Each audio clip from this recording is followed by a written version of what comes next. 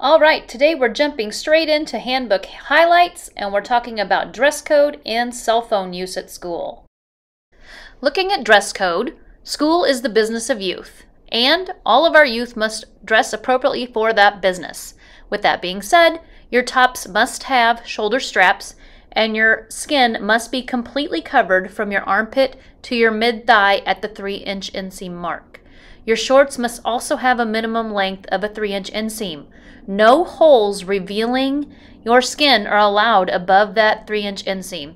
You must wear shoes or appropriate footwear at all times, and none of the following garments are allowed. No clothing or articles that advertise or promote alcohol, drugs, or tobacco products, including vaping products.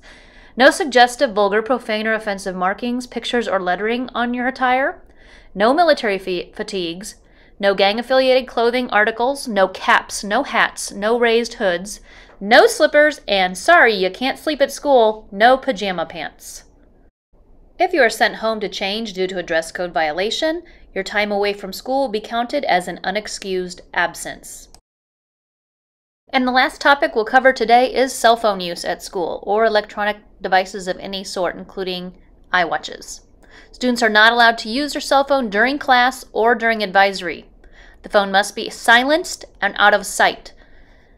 We ask parents to please help their student out by not texting and calling them during the school day. First offense for using your cell phone during a class is a verbal warning. The phone is confiscated the remainder of the day, and the student can pick up the device at the office at the end of the day. The second offense, the phone is confiscated in the office the remainder of the day, and a phone suspension is served the next school day, where the student is required to turn the device into school upon arrival. The device is then kept in the office safe the entire school day, and the student can pick it up from the office at the end of the day. On a third offense, in addition to another phone suspension for the day where the student turns the phone in, the student is assigned an after school detention to serve. All subsequent offenses after the third offense, in addition to another phone suspension for the following school day, the student is assigned a one day in school suspension. Refusal to submit your device for the phone suspension will also equal a full day in school suspension.